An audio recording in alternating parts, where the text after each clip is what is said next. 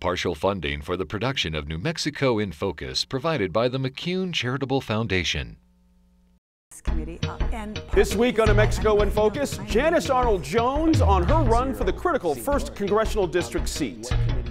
When you're at odds, tell them honestly, tell them where you stand, and don't, don't just give in just because they're your leader. Plus, the top 10 stories of the year.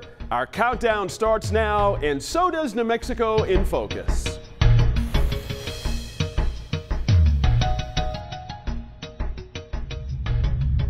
The opening of the spaceport, the fate of chimpanzees kept for testing in Alamogordo, the near upset of a longtime Speaker of the House.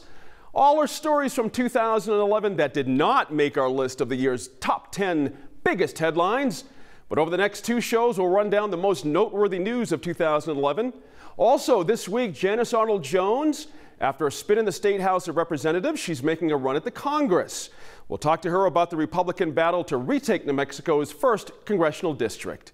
There's a lot to get to this week, so our countdown of the biggest stories of 2011 starts now.